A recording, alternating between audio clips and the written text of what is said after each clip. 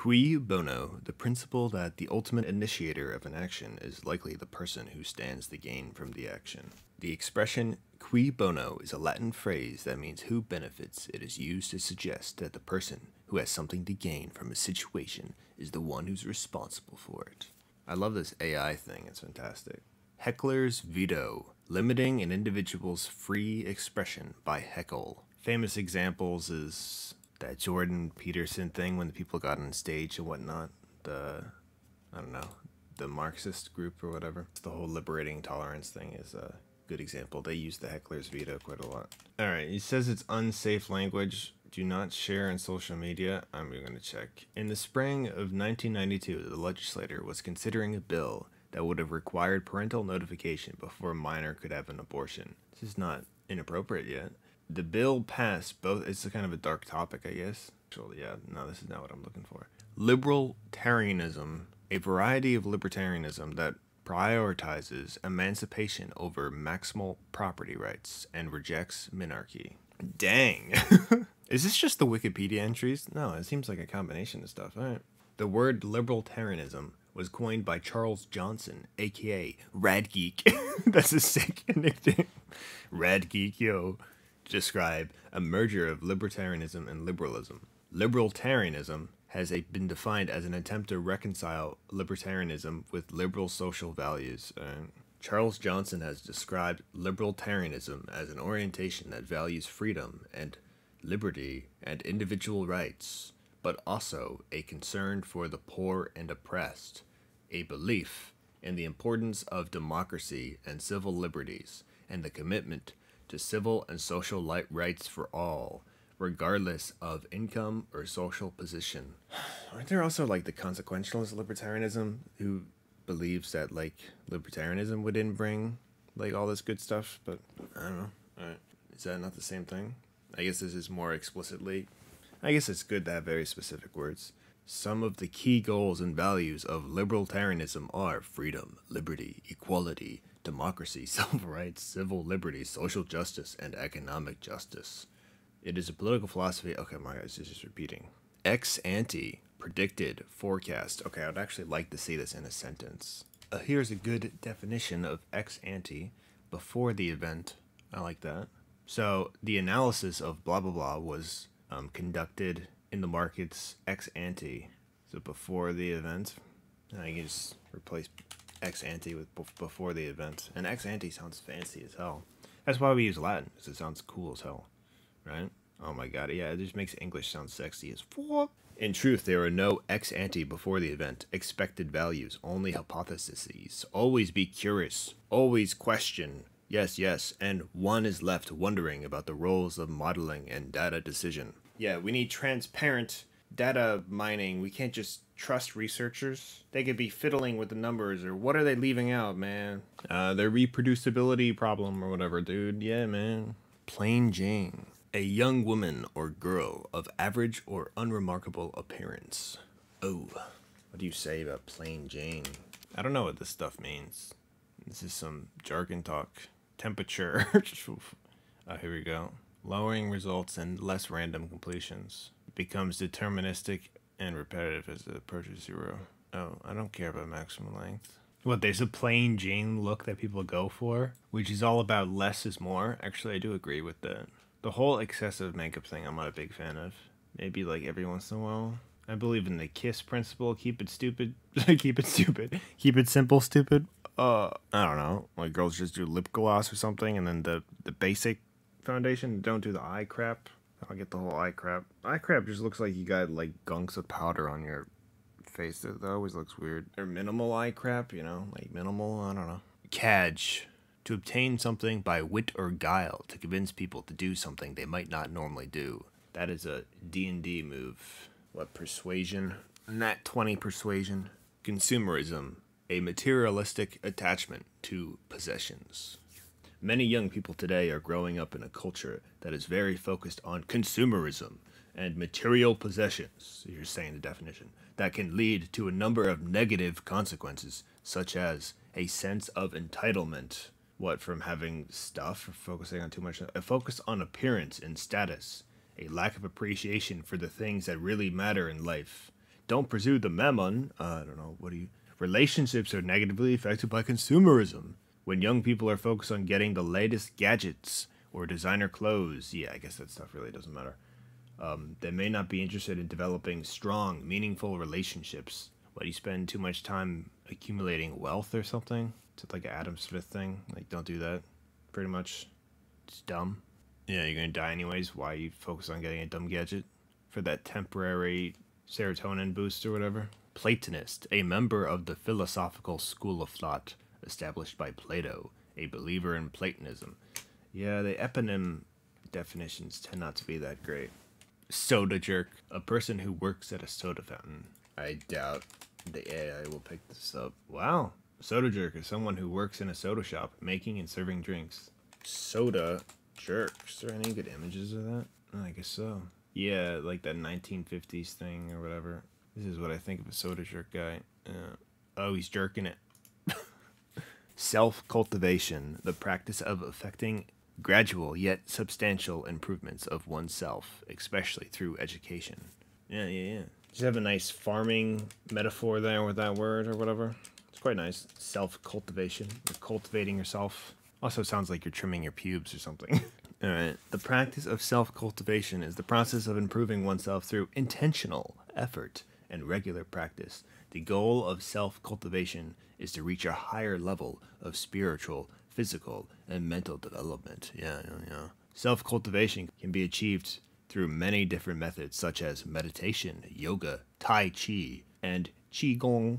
There are no single correct path to self cultivation, and each person must find the methods that work best for them. Self cultivation is a lifelong journey, whoops, and there is no end goal. The goal is simply to con- continue growing and improving oneself. I love this word a lot, actually, overdetermined. I wish it was more for just psychoanalysis, this particular definition. Hopefully it is. I wish it was more uh, broad or general determined by multiple causes in such a way that any of the causes on its own would be sufficient to account for its effects. The McGurk effect, a perceptual phenomenon where, I could say wherein, right? That sounds cool as hell. Where, when the, the auditory component of one sound is paired with the visual component of another sound, and a third and different sound is perceived. Guess you need to see a video of that. You can't just hear someone read it. The McGurk effect is a perceptual phenomenon that occurs when the auditory and visual inputs to the brain conflict. The effect is named after its discoverer, cognitive psychologist Harry McGurk, who studied it in the 1970s. When people see a person speaking and hear a different sound, they often perceive a third hybrid sound. The McGurk effect occurs when the auditory and visual inputs conflict and the brain has to choose between them. Ooh, yeah, cool, cool. The effect was first demonstrated in a now famous experiment in which people were shown a video of a woman saying ba while they heard a recording of a man saying ga. Most people perceived the hybrid sound of da. Spillover effect. Economics, the phenomenon in which an economic event in one context occurs because of something else in a seemingly unrelated context. Bidenism, a quip, phrase, or aphorism commonly said by Joe Biden. This is a good way to make an um, eponym of any person's uh, surname. To say a quipped phrase or aphorism commonly said by X person, you know. Trotskyism, the left wing political philosophy named after and based on the ideas of Leon Trotsky, that is characterized by international socialism, opposition to Stalinism, the theory of permanent revolution, and the theory of the vanguard party. Trotskyism and the Bolshevik Party, 1923 through 29, taken up by a number of civil parties, um, all professing to be the true heirs. We are pure socialism of Lenin and the October Revolution Party, which operated under the name in the USSR, was the only one founded by Lenin and the only one that had participated. Wait, da, da, da, da, blah blah blah. Trotsky believed that the USSR was not a socialist state and that the party was not a genuine Marxist party. He therefore argued that the party had to be transformed and that the USSR should be turned into a genuine socialist state. Stalin, on the other hand, believed that the USSR was a socialist state and that the party was a genuine Marxist party. Stalin therefore argued that the party should not be transformed and that the USSR should not be turned into a genuine socialist state. What? Are you pure? I'm so pure. Uh, Jesus. Faustian of or pertaining to Faust, especially in the sense of being willing to abandon one's principles or values in order to pursue knowledge, wealth, or other benefits. Pinochetism, the conservative ideology associated with the Pinochet administration 1973 through 1990. Augusto Pinochet was a dictator who ruled Chile from 1973 to 1990. He came to power in a military coup that overthrew the democratically elected government of Salvador Allende. During his regime, i.e., naughty government according to whoever wrote it, Pinochet oversaw the implementation of a number of policies that led to human rights abuses, including torture and murder, the classics, classic democide government stuff. Cartelize, to have an industry controlled by a cartel.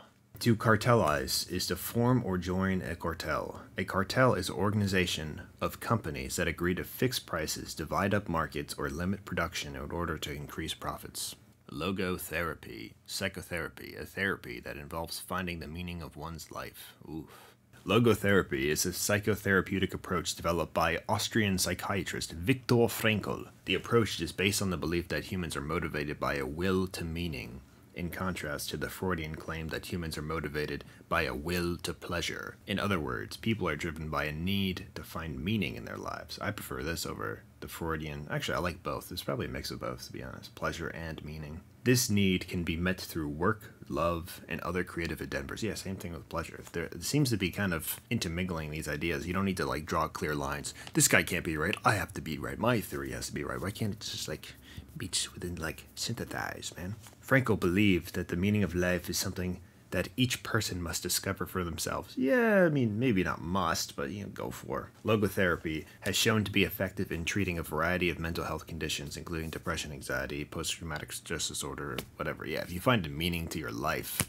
I feel like depression is not going to be a problem. You're not going to be depressed and be like, wow, I found the avocation I love. I found the thing I love doing. Are you going to be depressed then? Probably less likely.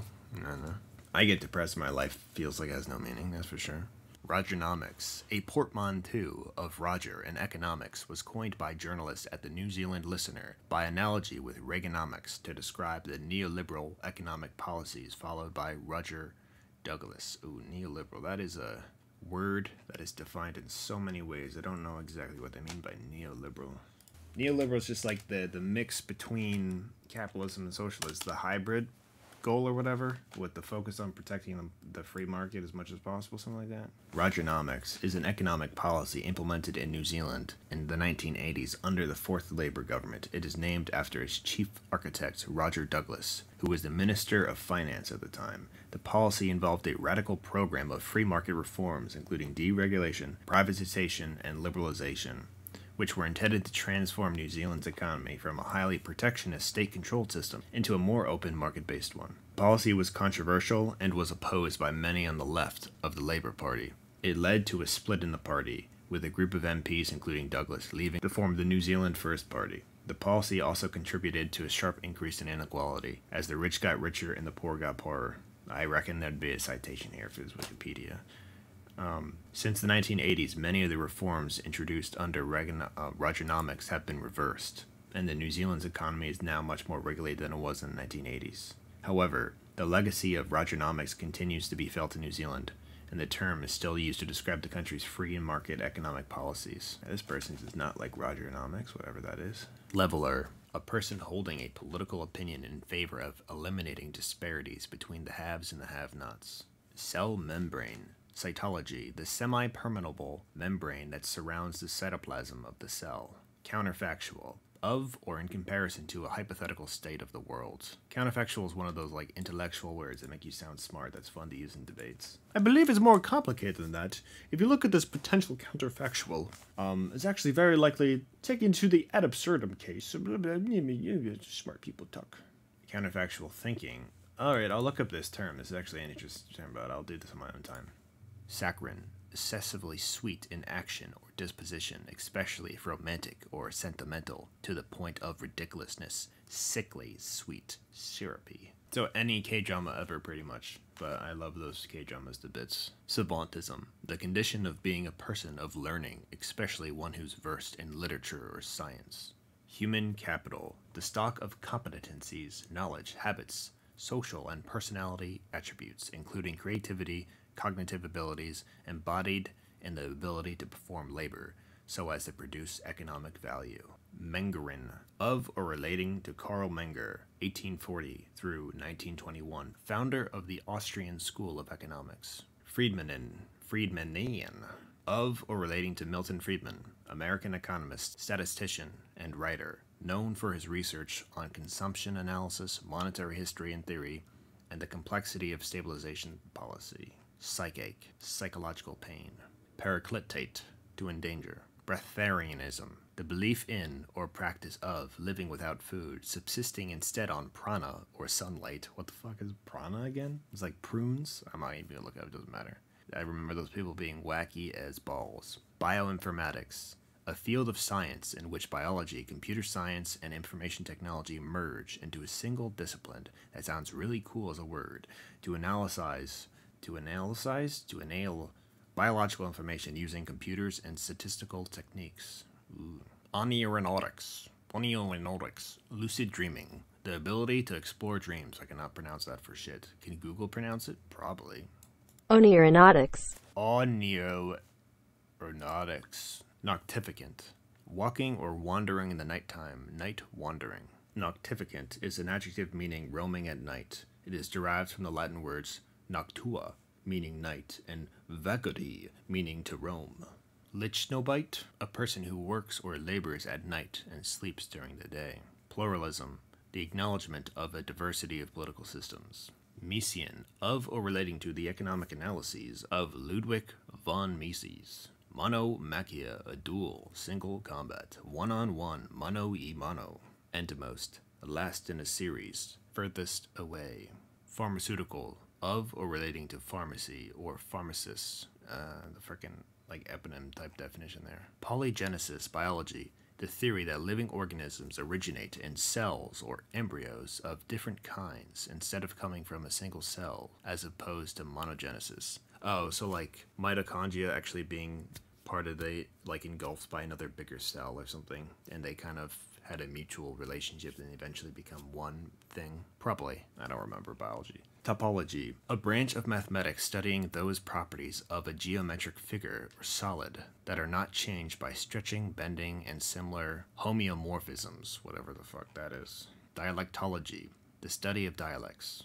Yeah, study like William Faulkner. That guy writes like wacky, wacky heck. Yeah, look at this guy. Theodicy, a justification of deity or of particular attributes of a deity. Catechism, a book in question and answer form summarizing the basic principles of Christianity. Apanthropy, an aversion to human company, a love of solitude.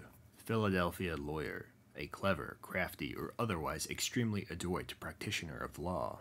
Fatalism, the doctrine that all events are subject to fate or inevitable in necessity or determined in advance in such a way that human beings cannot change them. Is fatalism often tied to some biological component, like it's a chemical thing that we can't control anyways and we just react to stimulus and whatnot? It's all on autopilot. That's wacky, isn't it? It's probably a mix, you know? We're partially free willies. I don't know. Orthopraxy, the right belief combined with the right practice. I, from the top down, will legislate what is orthopractice orthopraxy. What is it? We had the board of disinformation. That's now going to be behind the scenes instead of, you know, it's actually real. Oh my gosh. America. Yeah, U.S. is wacky. Demersion, the act of plunging into fluid, a drowning. Respicency, chiefly literary. Repentance, recognition of a past mistake, especially with a desire to improve in the future. Oh, I have a lot of regrets that I want to improve upon. Pulchritudinous, having great physical beauty. Theophany, a manifestation of a deity to a person. Deity, God comes down from the sky type deal. Militaria, military or police artifacts. Everything pretty much because of civil asset forfeiture. Linguophile, a person who loves languages and words, i.e., me. Obdormition, the sensation of numbness that occurs in a limb when it falls asleep due to pressure on a nerve. Egregious, outrageously bad, shocking. This video is egregiously poorly made. Equivocal, capable of being ascribed to different motives or of signifying opposite feelings, purposes, or characters deserving to be suspected. Solvagant, solvagant, wandering alone. Morass, anything that entraps or makes progress difficult. Paleoanthropology, Anthropology, the scientific study of ancient human remains. Hot stain, a region of the world where safe drinking water has been depleted. Oh, that sucks. Ooh, that would suck. Oh, this is before I did the whole proper um, pronunciation, uh, punctuation stuff. The Lorentz force, physics, the force exerted on a charged particle in electromagnetic field. Aristocraticalness, the state or quality of being aristocratical. Bolchi bolchi, leisurely, slowly, steadily, little by little. Funkify, to run away in fear. Oh, this looks kind of good. Not for actual like shirt design, but I like how it looks in this. Yeah, as a shirt, uh, I don't know. Afflatus, a sudden rush of creative impulse or inspiration, often attributed to divine influence. Toxic masculinity, feminism, those aspects of traditional masculinity perceived to reinforce aggression, emotionlessness, emotionlessness. I kind of love stoicism, so I'm like, uh, I like being unflappable and stuff. Maybe I like some a little bit of toxic masculinity and other negative qualities. I don't think that's really negative. I mean, having emotions good. I you know I cry during K dramas and stuff, but I kind of prefer stoicism. But whatever, dude. Everyone has their preference. Pediatricophobia, a fear of having to take care of children. Yeah, I don't really fear of having to take care of kids. I would like to be a foster parent. That kind of symbolizes that I'm a functioning human at that point, though. I wouldn't do it now. I'm a hot mess right now. And I wouldn't want to have my own kids because I think my genetics aren't the best. Be like pure autism, uh, like pump out autistic, autistic kids if I have kids. It just looks like advertisements. Kind of poor advertisement attempts. I don't know what I was doing there. Acrasia, against one's better judgment, weakness of will. Wow, what the heck is that? Look at what happened there. I had some Quizlet. I think I deleted a lot of these, like Urbicolous, living in an urban environment is a cool word, but it was a really poor design at the time and whatnot. Do I have pictures? No, just the words. Great. All right, that's it for the Facebook page. Wow, I got through it.